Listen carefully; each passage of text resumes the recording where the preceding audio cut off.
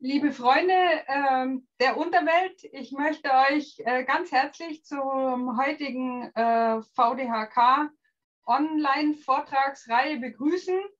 Äh, heute darf ich gleich ähm, zwei äh, Kurzvorträge ankündigen. Der Ingo Dorsten äh, von der Speleologischen Arbeitsgemeinschaft Hessen wird ähm, die Jahrestagung kurz vorstellen und danach kommen wir ähm, zum Vortrag von Andreas Wolf über die Eiskapelle am Königssee.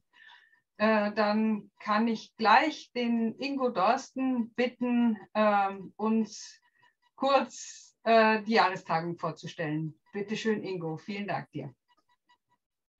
Ja, herzlichen Dank, Bärbel. Schönen guten Abend an alle in der Runde.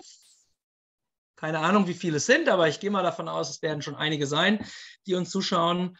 Ja, ich würde gerne mal ganz kurz die Jahrestagung vorstellen. Wie ist der Stand der Dinge und vor allen Dingen, ähm, wo befinden wir uns und wie muss man sich das Tagungszentrum vorstellen? Georg, kannst du mich wieder aktivieren? Das sieht gut aus. Ich würde mal ein Bild teilen, Bärbel. Du siehst, was wir sehen. Passt es? Gut, wunderbar. Dann mache ich jetzt, ups, ah jetzt, okay.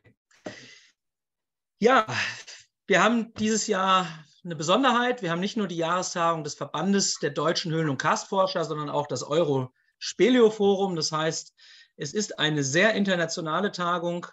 Ähm, sie findet statt vom 18. bis 21. Mai diesen Jahres in Breitscheid, in Hessen mal wieder. Die letzte Tagung war 2008.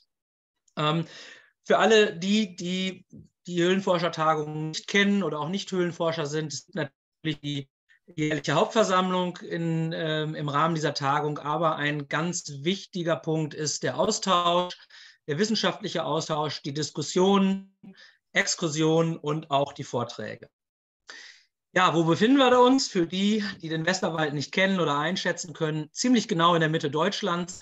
Ähm, unweit der A45 zwischen dem Ruhrgebiet und dem Rhein-Main-Gebiet liegt der Westerwald. Ähm, und die örtliche Lage ist auch sehr zentral. Wir haben das Glück, dass wir dieses ja eigentlich mitten im Breitscheider Karst in diesem schönen devonischen Massenkalk finden lassen, sodass wir die allermeisten Exkursionen sogar zu Fuß erreichen können. Es muss kein Auto bewegt werden. Wir können am Tagungszentrum starten und können die Exkursionen dann in der näheren Umgebung zu Fuß ansteuern. Das Tagungszentrum selber ist eine Kombination aus einer Schule und einer Mehrzweckhalle, wobei die Mehrzweckhalle für den Aufenthalt und das Miteinander und die Vorträge sein wird. Und die Schule selber, dort werden wir die Aussteller haben. Wir werden die Parkplätze ähm, in näherer Umgebung haben und im Großen und Ganzen genauso wie im Jahr 2008, wer schon mal da war, ähm, im Grunde eine sehr gute Infrastruktur für eine solche Tagung. Diese Folie kann sich jeder genauer anschauen, wenn er auf unsere Anmeldeseite geht, die über die Homepage des VDHK äh, ähm, wir haben dort eingetragen auch die Stellplätze. Wir haben vier Wohnmobilstellplätze, ähm, wir haben Pkw-Stellplätze, nicht ganz so üppig, aber das wird sich im Ort verteilen. Also im Großen und Ganzen hoffen wir, dass wir auch die, die mit dem Wohnmobil anreisen oder auch mit dem Zelt kommen, auch äh, genügend Platz bieten können. Ein paar Sätze zur Anmeldung an sich. Für die, die es noch nicht getan haben, ganz wichtig, meldet euch rechtzeitig an. Ich habe da gleich noch mal eine Folie, wo auch noch ein paar Fristen drauf sind. Aber ihr findet auf der Seite alles. Und wenn ihr diesen Kalender seht, dann kann man mit, ähm, dem, mit der Maus selber die einzelnen Bereiche fahren und kann sehen, welche Exkursionen gibt, welche Vorträge und was verbirgt sich dahinter. Ja, ganz wichtig, wir haben sehr viele Anmeldungen. Wir haben insgesamt 207 Teilnehmer. Ähm, das heißt, wir gehen davon aus, dass wir aktuell vor allen Dingen solche haben, die gerne Exkursionen haben wollen. Leider sind alle Exkursionen bereits gebucht. Es ist so ein bisschen der, der der Pferdefuß an dieser Geschichte. Und wie ihr die Zahlen seht, es sind 395 Exkursionsplätze. Was aktuell noch äh, frei ist, sind die Oberflächenexkursionen. Da sind wir auch relativ flexibel, was die Teilnehmeranzahl betrifft. Ähm, ich möchte aber jetzt mit dieser Anzahl nicht entmutigen. Erfahrungsgemäß werden immer mal auf so einer Tagung auch Plätze frei. Also informiert euch bitte über die Exkursion, die ihr gegebenenfalls machen wollt. Und eine ganz wichtige, ein ganz wichtiger Punkt ist, ist, wir müssen planen können, vor allen Dingen fürs Essen. Und wir bitten alle, dass äh, vor allen Dingen wegen der T-Shirts und der Essbestellung ihr euch bis zum 14.04. anmeldet. Jeder, der danach sich anmeldet, dem können wir kein T-Shirt mal garantieren und es ist auch nicht sicher, dass wir da entsprechend auch Essen liefern können. Also unser Wunsch an euch alle, meldet euch an. Nochmal ein paar Bilder zum Tagungszentrum. Wir haben hier die Mehrzweckhalle, an der wir uns aufhalten werden. Hoffentlich bei gutem Wetter dann auch in den Außenanlagen auf dem Schulgelände. Hier mal ein Blick Rechts wäre die Mehrzweckhalle. Wir haben das Schulgelände ähm, mit den entsprechenden Räumlichkeiten, die wir nutzen für die Aussteller, für Vorträge und auch für Übernachtungen. Ja, im Großen und Ganzen für uns optimal. Ein Blick auf die Zeltwiese. Auch die ist ziemlich zentral gelegen. Das wird dann der Sportplatz dieser Schule sein. Ähm, wir haben verschiedene Parkplätze. Hier mal ein Platz, der am Rathaus ist, der uns zur Verfügung steht für die Wohnmobile. Und einer, der direkt über der Höhle liegt. Also wer den Wasserlauf oder die Wasserader unter dem Wohnmobil haben möchte, ist dort genau richtig aufgehoben. Ähm, 50 Meter Sichtweite bis zum Einstieg ins Erdbachhöhlensystem. Zur Anreise noch zwei, drei Dinge. Ähm, sicherlich werden sehr viele von euch mit dem äh, PKW reisen. Aber wir haben insbesondere für die, die mit der Bahn kommen, eigentlich auch eine gute Ausgangslage, weil die, das Tagungszentrum direkt an den Bus angebunden ist. Nun ist es üblicherweise auf dem Land nicht so, dass jede halbe Stunde ein Bus fährt. Das wissen wir. Und deswegen werden wir rechtzeitig, kurz vor Tagungsbeginn, die Tagungstelefonnummer bekannt geben, dass die Leute, die abgeholt werden müssen, auch einen Shuttle-Service haben. Grundsätzlich bietet sich der Bahnhof Herborn an mit dem Intercity kommt, wird zum Bahnhof Dillenburg kommen. Das ist ganz wichtig. Ähm, schaut also kurz vorher nochmal drauf, dann findet ihr eine Kontakttelefonnummer, an der ihr anrufen könnt. Dann holen wir euch gerne ab. Wir haben Neues. Ähm, die Veranstaltung wurde, oder wir haben von der Deutschen Bahn ein Veranstaltungsticket bekommen. Das heißt, zu einem vergünstigten Tarif ähm, kann jeder, egal von wo in Deutschland, auch bei kurzfristiger Anmeldung ähm, zu diesem Ticket kommen. Wichtig ist, ihr müsst euch dann ähm, einen entsprechenden Ausdruck mitnehmen, dass äh, der Nachweis erbracht werden kann, dass ihr zu dieser Tagung fahrt. Es gibt auch ein Mitfahrportal, da möchte ich nochmal darauf hinweisen. Ähm, für die, die mit dem Auto kommen, äh, steht natürlich immer der, die Möglichkeit, ähm, auch Leute mitzunehmen. Und da wir ja nun nicht wissen, von wo kommt, haben wir im Prinzip äh, über das System die Möglichkeit gegeben, dass Leute sich melden können. Sie können anklicken, ich wünsche eine Mitfahrgelegenheit oder ich biete eine Mitfahrgelegenheit an. Und dann ähm, haben wir die Möglichkeit, über ein System zu schauen, wer liegt wo und auf welcher Strecke könnte denn wer in Frage kommen. Und dann werden die Kontakte nach der Zustimmung ausgetauscht. Also wir hoffen, dass ihr ausreichend davon Gebrauch macht, nutzt die Gelegenheiten für den Klimaschutz, aber natürlich auch ein bisschen für den Geldbeutel. Das ist eigentlich das, was wir machen können, um das Ganze so nachhaltig für mich zu gestalten. Noch ein paar Punkte zu den Exkursionen. Wir haben insgesamt 63 Exkursionen ausgearbeitet, die aber nicht alle in Breitscheid sind. Wir bieten Exkursionen im, äh, in anderen devonen Massenkalkgebieten, beispielsweise in der Umgebung von Limburg. Sehr interessante Höhlen, ähm, hypogen entstandene Höhlen mit ganz tollen Formen. Wir haben Oberflächenexkursionen und Höhlenexkursionen in bunter Mischung. Wichtig, und das ist das, was wir immer wieder feststellen bei Tagungen, schaut euch bitte die Exkursionsbeschreibung genau an. Ist sie für euch zutreffend? Entspricht sie eurer körperlichen Kondition? Vor allen Dingen zum Herbstlabyrinth muss man sagen, das ist keine einfache Höhle. Sie ist sehr anstrengend. Es sind sehr lange Touren. Und wir haben, um das Ganze auch noch mal ähm, näher zu beschreiben, hinter den Exkursionslisten Kurzfilme hinterlegt, auf denen man wirklich erkennt, ähm, wie so die Schlüsselstellen sind. Also nehmt bitte die Angaben ernst. Ich habe gerade gesagt, aktuell sind alle Höhlenexkursionen leider schon ausgebucht, aber es sind Alternativen vorhanden für Selbstexkursionen, also für Leute, die entsprechend ähm, sich ein eigenes Programm gestalten wollen, gibt es ganz viele Möglichkeiten. Es gibt Bergwerke, es gibt andere Höhlengebiete, die, ich sag mal, im Umkreis von einer halben Stunde Fahrt sehr leicht äh, zu erreichen sind. Jetzt gucken wir mal, ob das klappt. Meistens klappt es nicht. Hm, ich will mal einen Film ganz kurz vorspielen gleich. Und zwar einen, den wir zum Erdbachhöhlensystem gemacht haben, zu der Schwinne C, dass ihr einen Eindruck bekommt. Ähm, ich schau mal, ob es funktioniert. Wie es dann bei euch ankommt, weiß ich nicht.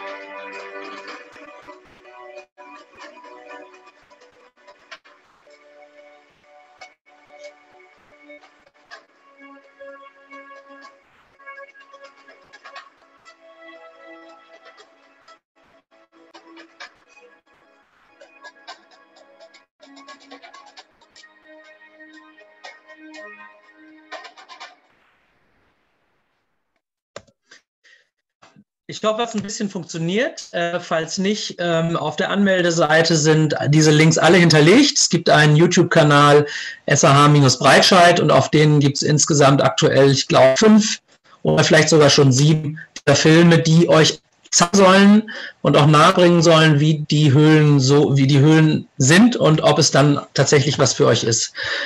Noch ein Bild aus dem Ratzfatzloch für die, die sich dafür angemeldet haben. Und ich mache mal drei, vier Aufnahmen aus dem Herbstlabyrinthfach ähm, zum Abschluss und zur Einstimmung auf die Tagung. Wir hoffen, dass wir viele schöne Fachdiskussionen haben werden am Rand der Tagung über das, was ihr in den Höhlen seht. Jeder hat einen anderen Blick auf die Höhle und auf die Höhlensysteme. Und ja, es wird mit Sicherheit, wenn das Wetter mitspielt, eine interessante Tagung. Wir haben auch Spezialexkursionen, zum Beispiel eine, die sich mit dem Thema ähm, Höhlengenese befasst, wo wir ganz gezielt, ähm, wie auch hier zum Beispiel, Eisschäden uns anschauen wollen und vor Ort diskutieren wollen. Und es gibt sogar eine Fahrexkursion, ähm, die ein bisschen den Radius vergrößert als normale Exkursion. Ja, mit diesem Bild soll es das gewesen sein. Wir freuen uns auf euch, wir freuen uns auf eine schöne Tagung hoffen, dass alles gut geht und ähm, dass ihr euch rechtzeitig, damit wir weiterhin gut planen können. Dankeschön. Ja, vielen Dank, Ingo. Ähm, ich freue mich schon riesig. Äh, ähm, vor allem finde ich es klasse. Wir haben jetzt die Anmeldung äh, seit ungefähr zwei, seit genau zwei Wochen äh, online und wir haben über 200 Anmeldungen jetzt schon. Das ist einfach riesig äh, das liegt bestimmt auch daran, dass ihr so viele tolle Exkursionen ähm, äh, anbietet. Ähm, ich wollte noch dich ganz kurz fragen, ihr habt ja auch äh, einige Workshops, ob du dazu noch äh, was sagen möchtest. Ansonsten äh, guckt euch einfach äh, das Programm an, da sind die einzelnen ähm, aufgelistet. Ja, ich kann es gar nicht äh, aktuell aus dem Kopf sagen. Wir haben einige interessante Workshops, die sich mit verschiedensten Themen befassen, von der Nachhaltigkeit über Rettung, Seiltraining und so weiter. Aber schaut, schaut nach ähm, an verschiedenen Tagen und meldet euch auch gerne dafür an. Ja, tausend Dank, lieber Ingo. Super gemacht. Wir freuen uns alle zu feiern in Breitscheid. Sehr ähm, gerne. Dann freue ich mich auf den Andreas Wolf, der ist heute sozusagen inkognito da. Der hat ein äh, Problem mit seiner Kamera, von daher ähm, können wir ihn aber auf jeden Fall ausgezeichnet hören. Ähm, Andreas ist bereits seit 2004 im VDHK-Vorstand und hat auch die Gründung des Cast-Instituts begleitet äh, und sein Steckenpferd äh, ist die Eiskapelle. Ähm, die betreut er äh, seit über 30 Jahren und darüber wird er heute berichten. Ähm, vielen Dank, Andreas, dass du dich äh, heute bereit erklärt hast, über die Eiskapelle zu referieren. Du hast das Wort, wir freuen uns. Vielen Dank.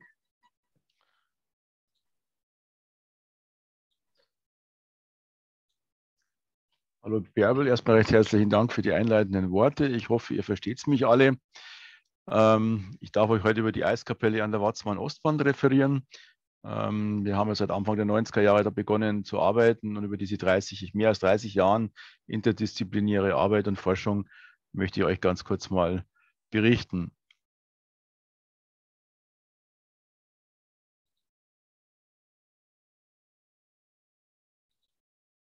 Wo sind wir? Wir sind im Nationalpark Berchtesgaden auf dem südöstlichsten Bereich Deutschlands. Ähm, der Blick vom Jänner auf den Watzmann. Unter uns liegt der Königssee, von rechts nach links, von Norden nach Süden gelegen. Und ähm, der großen Halbinsel St. Bartholomew geht dann der Wanderweg hinter und ähm, das ist dann der Zugang zur Watzmann-Ostwand. Die traditionelle Schifffahrt ähm, sollte jeder mal gemacht haben. Ähm, man kann ja mit der Seenschifffahrt, mit Echo äh, über den See fahren. Das ist eigentlich schon zu empfehlen. Das ist einer der schönsten Seen und Landschaften Deutschlands und sollte jeder auch unbedingt mal gemacht haben. Wir fahren seit mehreren Jahren, wir werden immer vom Park rüber gefahren. Das ist zwar eine Aufnahme von 2007, ist schon ein paar Jährchen her, aber nachdem wir immer einen Haufen Messgeräte, Ausrüstung und Zeug dabei haben, ist es immer notwendig, dass wir da mit der Nationalparkschifffahrt rübergebracht werden. Ausgangspunkt ist natürlich St. Bartholomew, traditioneller Wallfahrtsort und eine beliebte Ausflugecke. Da ist ja immer ziemlich viel los. Aber man sieht es hier sehr schön. Man kann von dort aus in einer guten Stunde die 400, 500 Höhenmeter aufsteigen und dann erreicht dann nach einer gut eineinhalb Stunden dann am Fuße des Watzmanns da in diesem K den dreieckigen schneefirn Eisflecken der Eiskapelle. Was ist die Eiskapelle? Die Eiskapelle ist im Endeffekt eine Ansammlung von Firn, Schnee, Eis, was sich im Frühjahr, das aus der Watzmann-Ostwand äh, in die Tiefe stürzt, sammelt. Das ist sozusagen äh, so ein trichterförmiger Sammelbecken. Ähm, gibt zwei Eiskapellen. Es gibt die kleine, die ein bisschen nordöstlich liegt, und es gibt die große, die in West-Ost-Richtung im Eisbachtal ausgebildet ist. Das ist eine Aufnahme von 1994 ähm, euch mal ein bisschen auch Gefühl zu geben, wo das Ganze ähm, Nähe- oder Einzugsgebiet ist. Wir haben natürlich hier keinen Gletscher. Das ist der große Unterschied. Es ist zwar sehr viel Eis, Schnee und Firn, aber wir haben keine klassischen Merkmale, die einen Gletscher darstellen. Also wir haben keine Bewegung. Es ist nur ein Sammelbecken. Und das Wetter kommt von der Westseite, die sogenannten Atlantiktiefs kommen dann von Westen nach Osten und dann ist dann nach Norden nach Süden die, der Watzmanngrad und äh, wenn vom Westen der Wind dann den Niederschlag an der Ostseite niederbringt, dann fällt er dann als Lawinenmassen in die Tiefe und sammelt sich dann teilweise recht spektakulär in den Talbereichen des Eisbachtales. Das ist mal so eine Aufnahme von 2019. Da hat es auch mal wieder mal ein bisschen Schnee gehabt. Das ist zurzeit jetzt auch nicht ganz so selbstverständlich. Ähm, wir haben uns das auch mal angeschaut letztes Jahr, wie das ausschaut, noch über Ostern. Also da sieht man dann schon, wenn der ganze Schnee dann so betonartig in so riesigen Lawinen dann die ganzen Täler alles zuschüttet und äh, illegalisiert. Ähm, alles bombenfester Beton. Also wenn man da so eine Lawine reinkommt, kann man sich ja vorstellen beim Skifahren, wenn man da mal Skitour und in eine Lawine reinkommt, da hast du echt Schwierigkeiten rauszukommen. Ja, wie funktioniert das Ganze mit der Eiskapelle im, im Frühjahr? Das ist eine schöne schematische Darstellung. Das Affiereneisfeld ist natürlich komplett mit den Abgängen der Lawinen, mit diesem Lawinenschnee überdeckt. Ist wie im Endeffekt eine äh, Wurstdamm, wo dann auch die Höhle, die da die, dieses Eisfeld, das ist eigentlich der Hintergrund, warum wir Höhlenforscher auf das Objekt aufmerksam geworden sind, wird es dann mit äh, Eismassen gefüllt. Und im Frühjahr äh, läuft natürlich dann warmes Wasser rein, ähm, schmilzt den ersten Schnee und Eis weg und es wird natürlich dann gefördert mit einem ähm, Ausschmelzprozess mit Wind. Und es kann dann teilweise dann zu relativ großen Gangformationen und Gangpassagen ausschmelzen. Schauen wir uns mal ein bisschen mal die Historie an. Ähm, die Eiskapelle oder dieses der Bereich war ja auch schon vor fast über 200 Jahren, ist der topografisch aufgenommen worden. Da war die Eiskapelle mit dem Hintereis noch eine Fläche. Es war sehr, sehr dünn verbunden, aber sie ist damals 1819 ähm, so dokumentiert worden. Auch die Eiskapelle an sich ist relativ groß gewesen. Ähm, aber wenn man da ein bisschen äh, in die nähere Zukunft kommt, so 1888 gab es nochmal eine Aufnahme von Waltenberger, ist die Eiskapelle mit dem Hintereis nicht mehr verbunden, schon getrennt. Und ähm, die Bayerische Akademie der Wissenschaften, die Glaziologische Abteilung, hat dann lange Jahre, äh, 53, 61 und 73, die Eiskapelle noch fotogrammetrisch ähm, aufgemessen, ausgewertet und bestimmt. Aber nachdem es sich daher auch um keinen Gletscher handelte, ist dann 73 äh, die Bayerische Akademie, die die Arbeiten dann damals an die Technische Universität München immer verlagert hat, beendet worden.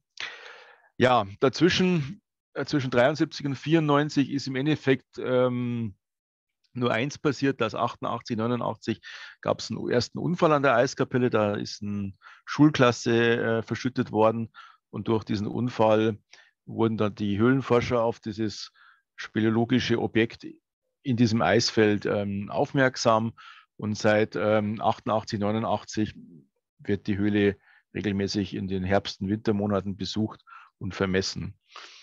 Wir haben 94 in einer größeren Messerkampagne für eine Diplomarbeit ähm, uns da mehrere Wochen aufgehalten.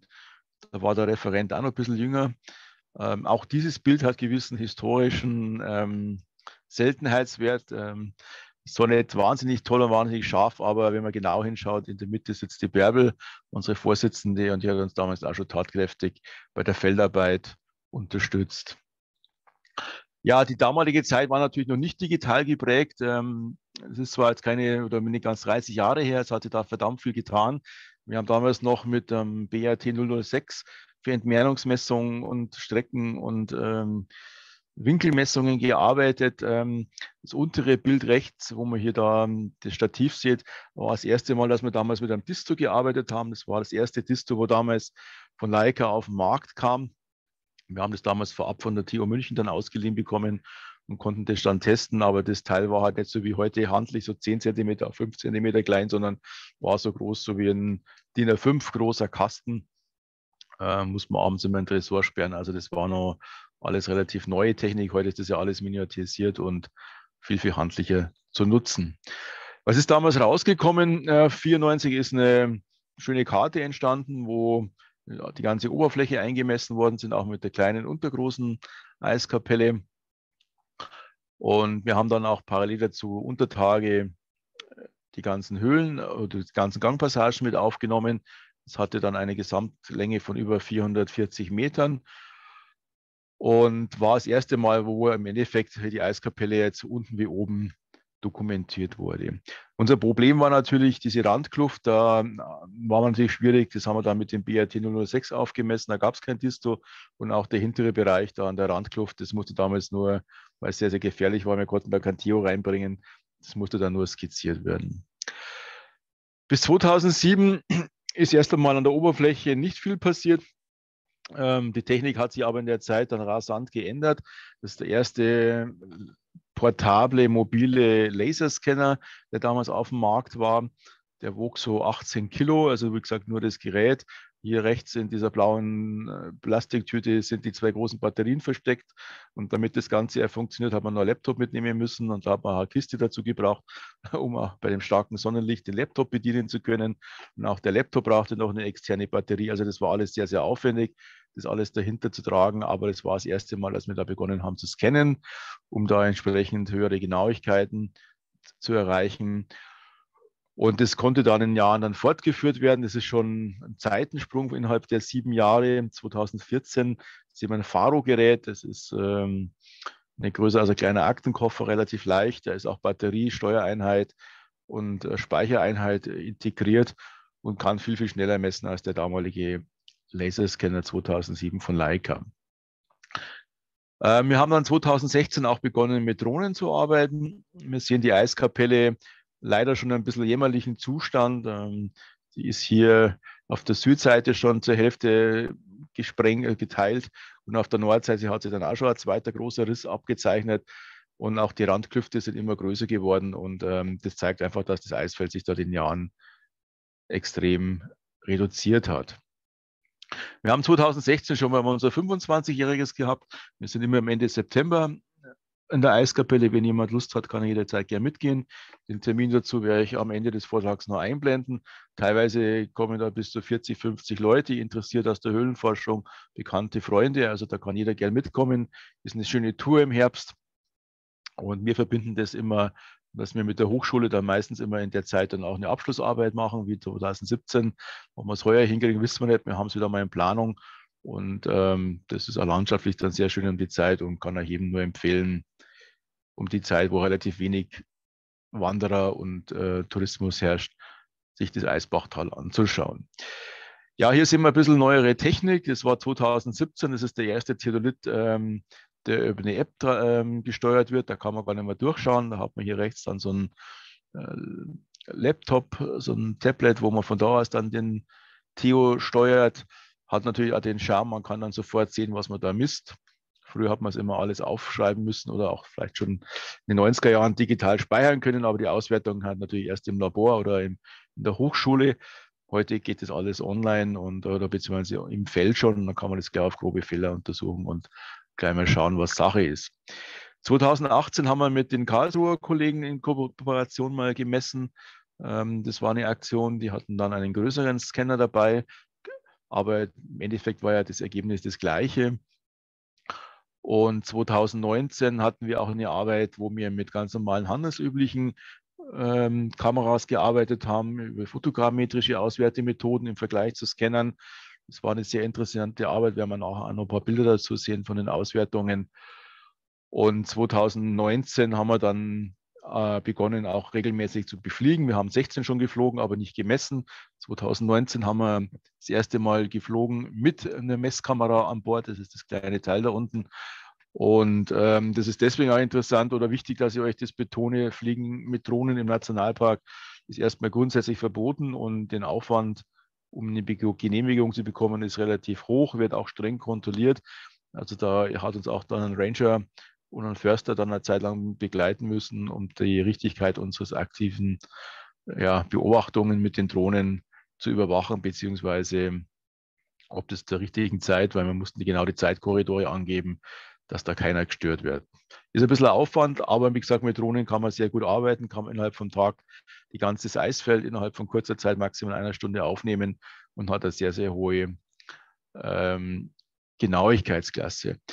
2020 war ja das erste Corona-Jahr, da haben wir leider keine Messungen gemacht. Äh, wir waren zwar mal hinten, um die Höhle zu vermessen, da hat uns der Park dann mal unter der Woche mal hintergefahren. Aber 21 ähm, äh, wurde dann auch geflogen. Aber unser wichtigstes Ziel war 21, ähm, die ganzen Koordinatensysteme vom Kraus-Küger-Koordinatensystem in die UTM-Koordinaten überzuführen. Da hatten wir eine relativ große GPS-Messkampagne. Das Tal ist sehr tief eingeschnitten, war ein bisschen ein Problem. Ähm, wie sagt man, ähm, aufgrund der Abschattungen Signale von den Satelliten zu bekommen, aber wir haben es dann mehrtägig beobachtet und konnten dann auch vernünftige Messergebnisse generieren, die vernünftige Toleranzen auswiesen. Letztes Jahr sind wir auch wieder geflogen. Das war ein Teil der Arbeit, aber der zweite Teil der Arbeit war, wir sind mit einem Handscanner in der Höhle unterwegs gewesen. Da tut sich auch eine ganze Menge. Ähm, man hat dann sozusagen den Hauptgang mit diesem Handscanner. Die Person, wo zu sehen ist, die läuft da sozusagen rein und auch wieder raus und muss dann von einem Ausgangspunkt dann wieder zurückkommen, sozusagen geschlossenen Zug äh, messen im, im, Gehen. Und aus diesen Messdaten wird dann ein Geländemodell generiert und das schaut relativ spannend aus. Werden wir uns nachher noch anschauen. Das ist eine neue Technik. Ich behaupte, wir werden wahrscheinlich in fünf bis zehn Jahren jeder Höhlenforscher am Helm so eine kleine Box haben, wo dann unser Weg in die Höhle dann mitgescannt wird und aus diesem Datenmaterial, die dann generiert werden, kann dann relativ einfach dies in ein Geländemodell, sprich in Höhlengang umgesetzt werden und daraus können dann auch Höhlenpläne gezeichnet werden. Aber wie gesagt, das ist alles nur Zukunftsmusik. Gehen wir mal zurück unter den Untertagegeschichten. Ähm, wie gesagt, die ersten Messkampagnen begannen schon in den 80er Jahren. Seit 91 haben wir es dann regelmäßig, machen wir es regelmäßig bis dato. Ähm, es gibt da auch starke Veränderungen von den Eingängen. Ich werde mal so ein bisschen so spezielle Features euch mal so zeigen, Merkmale, wo sich die Hülle immer stark ändert. Zum Beispiel wie hier der Eingang. Hat 88 relativ äh, mannshoch ausgeschaut, war jetzt nichts Spektakuläres. Das kann sich aber ein Jahr später sehr stark ändern. Also 89, da hat man schon mal das erste Mal eine Gangbreite von fast 30 Metern. Also das ist nichts Ungewöhnliches. Ähm, ist 91 dann wieder kleiner geworden. Ähm, 2003 war unser sogenannter erster Jahrhundertsommer, wo es sehr, sehr heiß war. Äh, das hat natürlich auch dem Eisfeld sehr stark gelitten unter dieser Wärmeeinstrahlung und hat da sehr viel weggeschmolzen. Wir waren der Meinung, naja, das war mal so ein Ausreißer. Aber wir werden sehen, gut, 2004 war es dann relativ moderat in der Höhe. 2007 waren wir relativ spät erst im Jahr, da war ja auch die Tagung in der Ramsau, hat es uns dann im Winter noch erreicht, da sind wir dann ein bisschen zu spät äh, hinter. Und 2008 war dann das schon relativ groß, der Eingang. Ähm, 2009 hat man mal den Running Gag, dass sogar mal Nebel aus der Höhle kam, da war die Wetterlage umgekehrt. Da hat es dann oben die warme Luft reingedrückt und die ist dann unten aus dem Höhleneingang rausgekommen. Also das war mal eine Besonderheit. Ja, 2010, das war dann so eine Zeit, wo dann auch der, der Klimawandel immer mehr zugeschlagen hat. Da sind die Höhleneingänge immer größer geworden. An der Eiskapelle sehr, sehr markant 2011, ähm, 14, 17 hat es wieder ein bisschen mal, ähm, ist kleiner geworden. Und 2018 gab es auch wieder diesen zweiten sogenannten Jahrhundertsommer, wie die Meteorologen uns immer bezeichnet haben, aber es war dann so ein mittelgroßer Eingang. Und 2019 war dann die große Überraschung, dass das Eisfeld sogar wieder an Masse zugenommen hat. Äh, wir hatten dann fast wieder den Eisstand wie von 1994. Aber man muss ganz klar sagen, die letzten drei Jahre, 2020, 2021 und auch gerade jetzt hier das 22er Jahr hat der Eisfläche brutalst äh, wieder an Massen abschmelzen lassen. Und mal schauen, wie das dann in diesem Winter ausschauen wird. Es hat auch heuer so gut wie keine Niederschläge im Berchtesgaden gegeben oder sehr, sehr wenige. Vielleicht gibt es ja Ostern nochmal den großen Nachschlag. Das ist ein bisschen unsere große Hoffnung. Aber wenn da jetzt nichts kommt, dann wird die Eiskapelle im wahrsten Sinne des Wortes äh, davon schwimmen. Schauen wir uns mal ganz kurz, wie das unter Tage ausschaut. Das war 88 der große Hauptgang, fast so ein U-Bahn-Tunnel großer Hauptgang. Kann man schön reinlaufen. Ähm, es gibt auch Zeiten, wo er dann zwar breit ist, aber nicht ganz so hoch. Ähm, wenn man Glück hat, kann man hinten an der Ostwand dann aus der Randspalte Kluft in die Ostwand reinschauen. Das ist wahrscheinlich einer der naja, unsichersten Bereiche in der Eiskapelle, weil da halt sich alles sammelt, was aus der Watzmann-Ostwand äh, hinunterfällt und dann an dem, äh, ja, an dem trichterförmigen Punkt, am tiefsten Punkt dann sammelt und dann hier in dieser Halle wo die Person da steht, dann in den Boden reindonnert. Wir haben das auch mal erleben dürfen, 94, ähm, wo wir hier die Stative aufgebaut haben, war dieses Eisfeld oder dieser Schneekegel, wie auch immer, noch nicht auf dem Bild. Ähm, hat es irgendwie mal einen riesen Schepperer getan. Es hat dann so geklungen, als wenn die U-Bahn auf uns zukommt, weil war es die Lawine, die von oben reingestürzt ist. Und ja, ein paar Minuten später war dann dieser große Kegel an Schneemassen im Bodenbereich des Ganges. Und es war dann schon beeindruckend mal zu erleben, wenn dann so ein Eisfeld zum Dröhnen und Scheppern anfängt.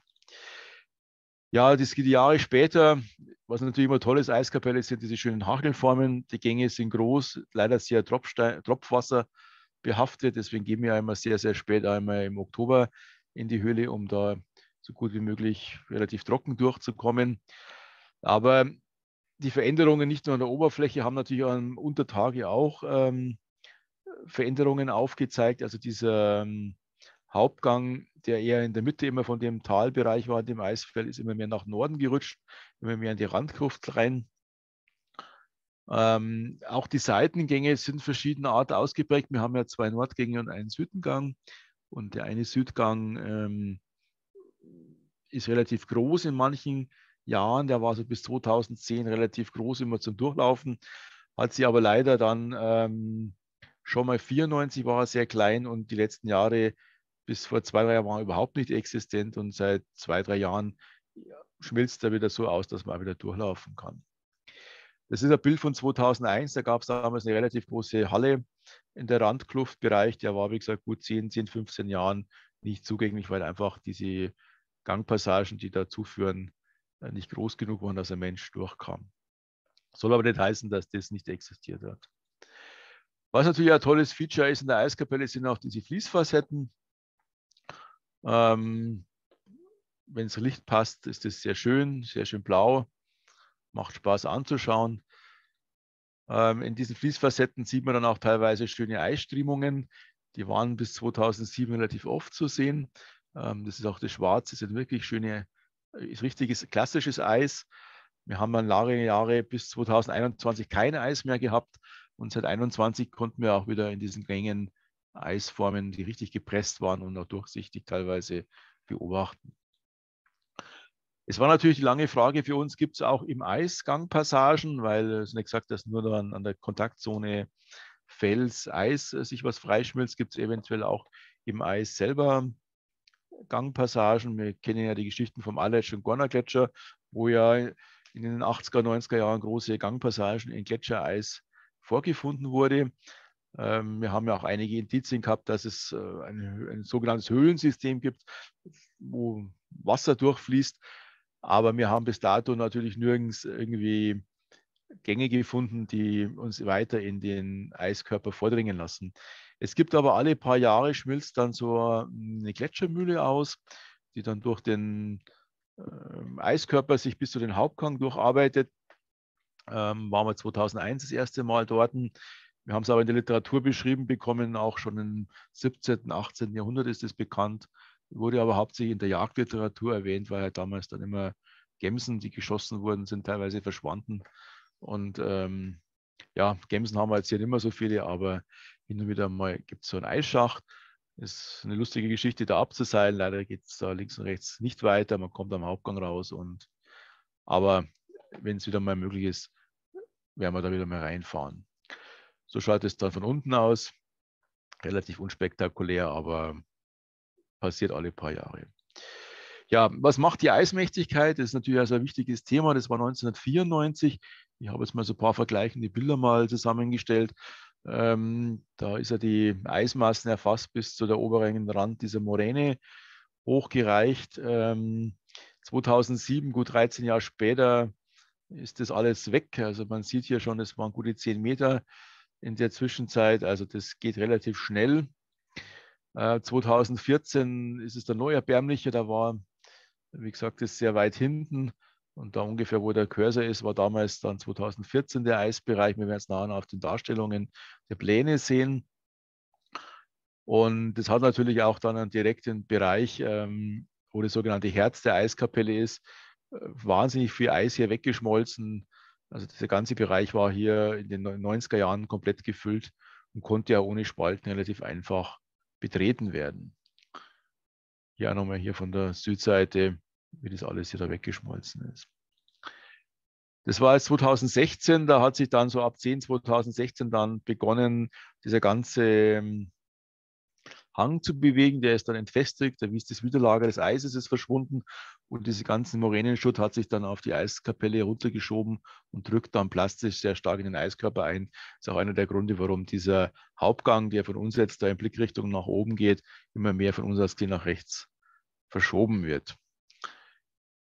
Ja, hier sieht man es auch nochmal, 2017 ist immer weniger, der Fels wird immer weißer, also das ist der Bereich, wo nicht mehr vom Eis bedeckt ist. Und dann kam halt die Überraschung 2019, da gab es dann Ostern noch einen großen Niederschlag von Eis- und Schneemassen im Spätwinter. Und der hat es dann relativ gut befüllt, nochmal diesen Eisgraben. Und da gab es nochmal einen entsprechenden Zuwachs. Aber leider 21 und äh, das 21 ähm, war, wie gesagt, wieder ein ganz schlechtes Jahr, wo das alles wieder abgeschmolzen ist. Die Randkluft selber hat uns natürlich auch lange Zeit beschäftigt, ähm, ob es natürlich zwischen Randkluft im Fels reingeht oder auch im, im Eis Fortsetzungen für Höhlen gibt. Wir haben auch da mal eine Aktion gemacht, 2002, wo wir uns hinten abgeseilt haben. Das ist natürlich genau der Bereich, wo alles so kuloartig, alles aus der Eiskapelle von oben schießt. War jetzt eine ganz ungefährliche Aktion, kann ich jetzt auch nicht unbedingt äh, empfehlen. Auch der Bereich, wo die Person zu sitzen sieht oder auch diese überkragenden, auskragenden äh, Bereiche haben die letzten Jahre, ich, ich habe den ein bisschen abgespeckt, den Vortrag, ich habe jetzt auch nicht auf die Unfälle eingegangen, aber es gab genau gerade in diesen Bereichen, wo halt die Randklüfte sind in den letzten Jahren, äh, schwerwiegende Unfälle zwischen, wo, mehrere, wo es auch mehrere Tote gab und auch Schwerstverletze, weil einfach in dem Moment, wo halt die Leute dann an dem höchsten, ausragendsten Punkt standen, ähm, das statische System versagte und dann die Leute dann mit den Eismasken in der Randkluft hinabgerissen wurden. Das ist mal so ein Blick von oben nach unten in die Randkluft rein. Da schießen die Steine rein und die Felsblocken und wie auch immer. Also ist nicht gerade unbedingt der Bereich, wo man sich gerne und lang aufhält. Ja, die Handbewegung habe ich kurz schon mal angesprochen. Die haben jetzt mir auch immer mehr auf dem Sender. Man kann halt einfach sehr schön, was das macht, wenn das Eis oder Permafrost sich aus den Alpen zurückzieht. Eine völlige Entfestigung der Moränenbereiche. Wir sehen da hinten so eine Person als Größenvergleich. Es sind richtig große Blöcke, die hier ins Gleiten kommen. Ähm, auch in diesem Bereich es ist da relativ viel Tourismus unterwegs.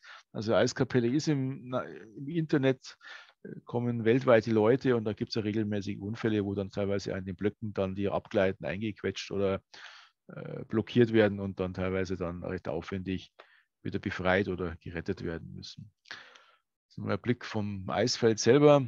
Das wird natürlich durch die Niederschlagsereignisse auch beschleunigt, dass diese Hangbewegungen starten und äh, die Gleitprozesse entsprechend fördern.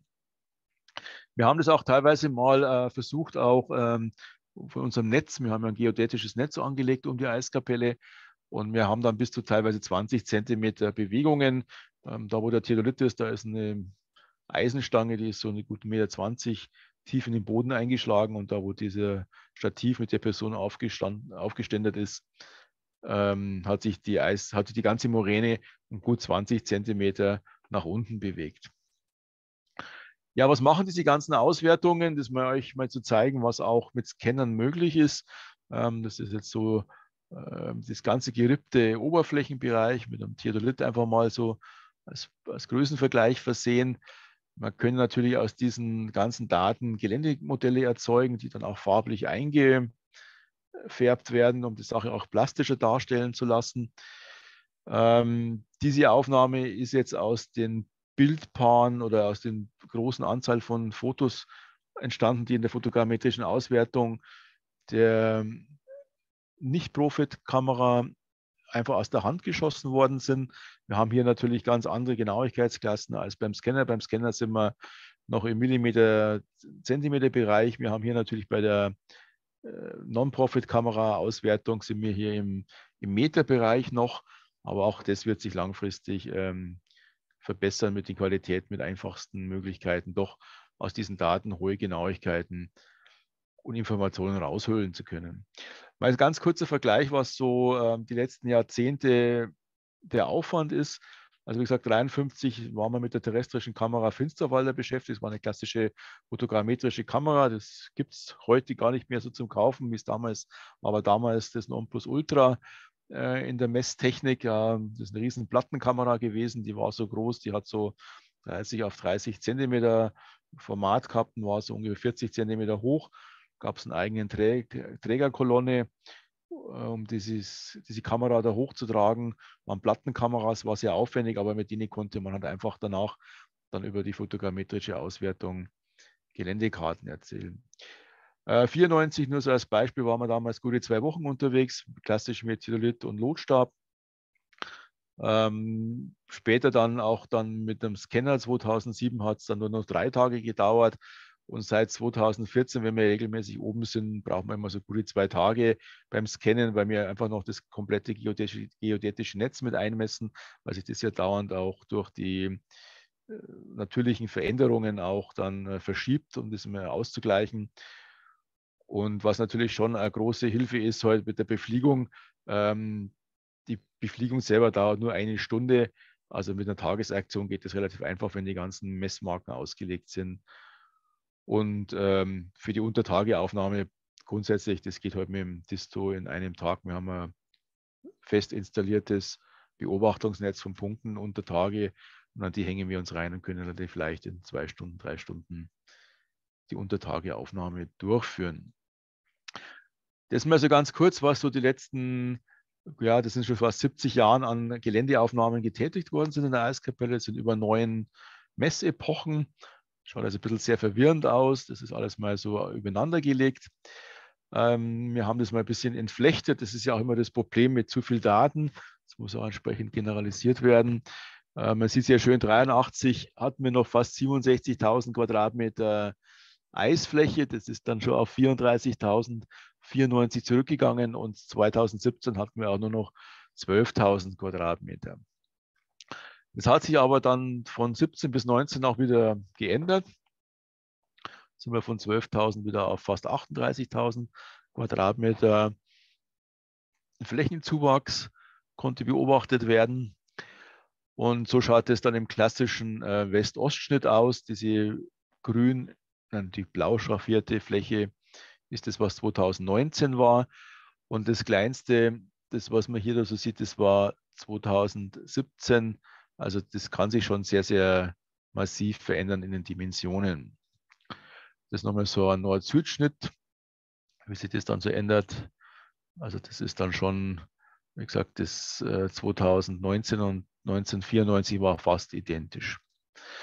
Ja, gehen wir mal in die Flächenstatistik. Ähm, diese Kurve, die endet natürlich 2019. Wir haben 2021, 2022 zwei Messkampagnen gemacht. Seit 2022 haben ja auch zwei Studenten, die gerade in der Auswertung sind. Die werden uns dann auch Ende April ihre Ergebnisse präsentieren.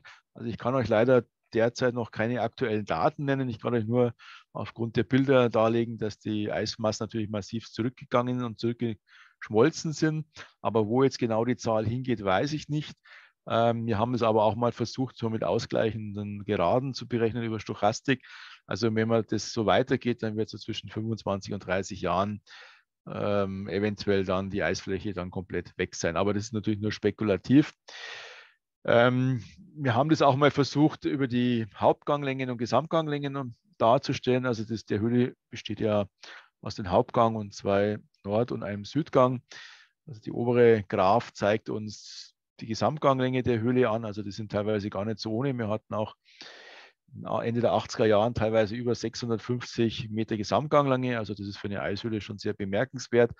Interessant ist eigentlich für uns eigentlich die Hauptganglänge, die im Endeffekt auch die Länge der, des Eisfeldes widerspiegelt. Und ähm, ja, es ist ja in der letzten Zeit immer mehr runtergegangen. Auch hier die ausgleichende Gerade. Und da sind wir also bei 25, 30 Jahren, bis sich das dann unter Anführungszeichen asymptotisch an die Achse anschmiegen wird. Ähm, ich habe euch vorhin noch ein paar Bilder gezeigt, wo wir mit dem Handscanner gearbeitet haben. Ähm, ich hoffe, dass das auch ganz gut jetzt auch in der Präsentation wiedergibt. Also der Handscanner ähm, arbeitet zwar noch im Dezimeterbereich, aber wir sehen hier im Endeffekt den Hauptgang, wo jemand reinläuft. Diese ganzen Punkte, wo man jetzt hier so sieht, das sind die ganzen Wassertropfen, die von der Decke runtergetropft sind. Und hier in der Mitte des Bildes ist ein Wasserfall gewesen und ein bisschen weiter hinten links war ein zweiter. Deswegen haben wir eine hohe Anzahl von äh, Wassertropfen und das konnte man aber in der Ausgleichung nicht wegretuschieren, sondern das Programm hat es einfach durchgerechnet. Hier sieht man dann nochmal den hinteren Teil. Man sieht ja sehr schön die Fließfacetten und auch die Auskolkungsbereiche. Und auch links sieht man jetzt also eine Person da stehen. Und man kann, wie gesagt, mit diesen ganz, ganz einfachen Mitteln mit so einem Handscanner da reinlaufen. Gut, der Scanner hat halt die, die Eigenschaft, der kostet so gute 90.000 Euro ohne Software. Ist jetzt aus geodätischer Sicht eher mal ein günstiges Messinstrument, aber für die Höhlenforschung noch zu teuer. Aber ich kann euch hiermit schon aufzeigen, dass die Entwicklungen langfristig im Gange sind, die das alles entsprechend verkleinern werden in der Technik und in Formaten und damit auch uns die Möglichkeit geben, unter Tage online in situ die Gangpassagen in Höhlen aufnehmen zu können. Das ist nochmal so eine Darstellung jetzt von dem Schlauch mit diesem Handscanner. Man sieht dann auch sehr, sehr schön, wie das dann so nach oben, so nach Schlote, sie sich dann nach oben freischmilzt, äh, so kolkartig. Also da hat man natürlich ganz andere Möglichkeiten und Genauigkeiten auch später für die Interpretation der Genese von Höhlen allgemein. Das sind die ersten Aufnahmen, die Auswertungen von 1921 und 2022. Ähm, das ist der erste Screenshot. Äh, man sieht sehr, sehr schön eigentlich, dass 21 noch mehr Eis vorhanden war, während Rechtzeit 22 äh, das alles sehr, sehr stark ausgearbeitet und sehr abgeschmolzen ist. Ähm, das ist nicht ganz maßstäblich gleich, aber ähnlich. Das war jetzt nicht anders möglich jetzt hier in der Darstellung im PowerPoint, aber euch um ein Gefühl zu bekommen, ähm, wie stark sich das verändert hat, in, in was für Bereichen. Schauen wir uns die Eismassendifferenzen an, die bis 2019 bekannt sind. Wir hatten in den 50er bis Anfang der 60er Jahre schon mal das erste Mal ja, fast 350.000 Kubikmeter Eis, die verschwunden sind. Es gab in den 60er bis 70er Jahren nochmal einen Zuwachs bis 73. Aber von 1973 ja, bis ähm, 2017 ist uns dann nochmal fast eine Dreiviertelmillion bis eine Million Kubikmeter Eis verschwunden. Das muss man sich mal auf der Zunge zergehen lassen. Das ist ja alles das Wasser, das in dem Eis äh, gespeichert ist, was dann ähm, sozusagen in den Vorfluter abfließt und dann teilweise auch Hochwasserereignisse in die Niederungen ähm, vorbeifließt und teilweise zu Hochwassern führt. Es gab dann, wie gesagt, 2018, 2019 den, den Eismassenzuwachs und ähm, wie jetzt die zwei Auswertungen für 1920 und 21, 22 ausschauen wird, das kann ich euch jetzt noch nicht sagen, aber ich hoffe, dass ich in den nächsten Wochen spätestens zur Tagung dann neuere Datenmaterial zur Verfügung habe und euch das dann vorstellen kann. Wir haben es gerade gesehen, gerade wie gesagt 14, 17, äh, Fläche hat sich leicht vergrößert, Massendifferenz negativ. 17, 19 war die Massendifferenz sehr positiv. Ähm, 1921 ist wieder kleiner geworden und ähm, das ging, wie gesagt, bis 22. Aber grundsätzlich ist die Lage der Ostwand natürlich ein wichtiges Element. Ähm, die Eiskapelle wird grundsätzlich immer in einer Art und Weise vorhanden sein. Es wird sich halt immer nur zeigen, in was für einer Größe und Dimension. Und einer der wichtigsten Elemente ist natürlich auch, wie viel Niederschlag wird es im Winter geben und wie schnell verschiebt sich die Nullgrad-Grenze nach oben. Es gibt auch noch einen biospeleologischen Part an der Eiskapelle. Seit gut zwei Jahren so versucht der Nationalpark Berchtesgaden einen Gletscherfloh nachzuweisen. Da hat man jetzt hier auch so Fallen aufgebaut und eine Versuchsanlage, den zu beobachten. Also es soll hier auch ähm, Tiere geben. Also wir haben hier im Randbereich der Eiskapelle witzigerweise auch einige Schlangen schon beobachtet und auch Schlangen heute. Es soll aber, wie gesagt, hier so ein Gletscherfloh geben. Ich habe es selber noch nicht gesehen, aber vielleicht können wir auch hier mal einen wichtigen Beitrag für die Biospeleologie in der Eiskapelle leisten. Wie geht es weiter? Ähm, in der Eiskapelle, klar, wir werden jetzt ja wieder weitermachen im Oktober, jährliches Monitoring, Standardprogramm. Damit werden auch die Hangbewegungen weiter beobachtet. Das Befliegen mit der Drohne ist ein Standardprozedere geworden, spart uns Zeit. Und was gerade bei mir so ein bisschen im Hintergrund ist, ich versuche gerade jetzt ein Projekt mit dem Park zu machen mit einer Zeitrafferkamera. Das ist ein schwieriges Thema wegen Rechte, ähm, dass da keine Leute drauf sind, die nicht abgebildet werden wollen oder so. Aber trotzdem ist die Idee da hinten, einen kleinen Masten aufzustellen, der auch dann online fähig ist, um die Eiskapelle äh, beobachten zu können und das dann entsprechend in Zeitraffer-Animationen darstellen zu können, wie sich das alles verändert, im positiven wie auch im negativen Sinn. Ja, das Alter und die Pollenanalyse hat leider bis dato noch nicht stattgefunden. Da hat sich auch keiner dazu gefunden. Vielleicht gibt es den einen oder anderen, der da mal auch Interesse hat, der kann sich bitte gern bei uns mal melden. Und grundsätzlich ist natürlich das Objekt uh, immer ein Objekt, wo wir halt einfach das zur Erprobung von neuen Technologien verwenden. Ähm, sie mit den ganzen Vermessungsgeräten, Untertage wie Übertage. Und das ist auch für die Studenten immer eine schöne Zeit, da hinten ihre praktischen Arbeiten durchzuführen und macht Spaß und hat auch einen sinnvollen Hintergrund. Äh, wir sind gerade dabei, das natürlich langfristig in die Carsten-Hülle-Reihe vom, vom Verband Deutscher Höhlen- und Karstforscher einzubringen. Äh, das ist ein Projekt, das noch ein bisschen länger dauern wird. Der Friedhard wird noch ein bisschen warten müssen, bis wir das Skript fertig haben, aber die Eiskapelle wäre es wert, dass man da, auch wenn es nur eine Dokumentation des Niedergangs oder des Verschwinden eines Sketchers oder einer Eishöhle dokumentiert, aber trotzdem sollte es entsprechend mal auch in einer Publikation Niederschlag finden. Wenn jemand Interesse hat, wir sind am 21. Oktober wieder hinten. Wir treffen uns immer mit dem ersten Schiff in Königssee mit dem ersten Schiff bitte pünktlich dort sein. Es ist meistens immer äh, sehr voll um die Zeit, weil es landschaftlich in der Herbstfärbung sehr schön ist. Also es sind relativ viele Wanderer und Touristen unterwegs. Wenn also jemand Interesse hat, äh, bitte bei mir melden und dann kann er gerne dabei sein. Ja, das Ganze ist natürlich nicht bloß jetzt äh, durch meine Person äh, entstanden, sondern es ist ein langfristiges Projekt, wo auch viele Personen beteiligt waren. Ganz klar Nationalparkverwaltung, Berchtesgaden, die uns hier immer auch nicht nur mit Genehmigung, sondern auch mit Logistik, sprich Schiff. Wir haben hinten die Hütte, wo wir bekommen und äh, sonstigen Daten wie meteorologischen Daten zur Verfügung gestellt bekommen. Die ganzen Scan-Geschichten wurden anfangs von der TU München unterstützt. Äh, seit 2014 übernimmt es die Hochschule München mit uns in Kooperation. Die Karlsruher Institut für Technologie war auch schon mal 2018 mit einem Scan beteiligt. Die Bergwacht Bayern unterstützt uns da regelmäßig mit Manpower und, und Material. Verband Deutscher Höhlen- und Karstforscher bzw. das Institut für angewandte Karst- und Höhlenforschung finanziert auch teilweise die Befliegungen, die wir uns dann ähm, zwei, dreimal konnten wir keinen Absolventen gewinnen. Aber um die Daten zu sichern, ist der Verband hier eingestiegen. Auch herzlich herzlichen Dank. Und natürlich auch den unzähligen ehrenamtlichen Helfern, die da immer seit 1984 dabei sind. Ähm, ist ja immer eine schöne Tour oder sind mehrere Tage, wo wir unterwegs sind. Landschaftlich sehr schön. Und ja, ich kann es auch mal ganz offen ein bisschen eingestehen. Wir gehen danach immer in den Fischermeister, da gibt es einen ausgezeichneten Fisch und ist unbedingt auch wert, auch kulinarisch das mitzunehmen. Zum Abschluss nur ganz kurz ein Bild von 2021. Da haben wir mal die Watzmann-Ostwand mit der Eiskapelle drauf. Und damit würde ich dann auch meinen Vortrag beenden und stehe natürlich für Fragen gerne zur Verfügung. Ja, herzlichen Dank, Andreas. Das war sensationell. Du hast mich ja schon geoutet als Fan der Eiskapelle. Äh, ich finde es immer schön, dort zu sein. Ähm, und ihr habt es bestimmt gemerkt, ich war nicht nur einmal da, ich war schon öfter dabei. Ähm, und ich kann es euch nur empfehlen, es ist wirklich sehr schön da und ihr seht ja, dass es vor allem auch jedes Jahr neu und jedes Jahr spannend ist.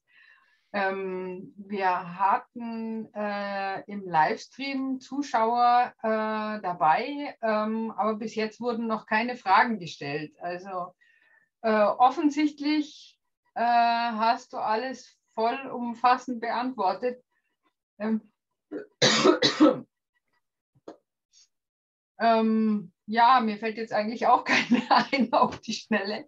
Äh, mir hat es immer gefallen, es war immer total schön da. Ich hatte auch immer das Glück, dass bis auf einmal ein bisschen Nieselwetter, ähm, wir immer Glück hatten mit dem Wetter. Ähm, ja, wenn jetzt aus dem Livestream keine Fragen mehr folgen, ähm, dann bedanke ich mich ganz herzlich beim Andreas äh, für den super schönen Vortrag ähm, und würde euch alle einladen. Äh, nächsten Monat äh, wird der Friedhard Knolle einen Vortrag über äh, den Fall Dr. Benno Wolf und die Folgen halten. Und dazu laden wir euch natürlich alle wieder gerne ein. Dann, und außerdem, naja klar, wir sehen uns in Breitscheid, hoffe ich jedenfalls. Und ich hoffe, ihr seid alle schon angemeldet. Und ansonsten äh, vdhk.de, da findet ihr alle Infos. Vielen Dank und bis demnächst.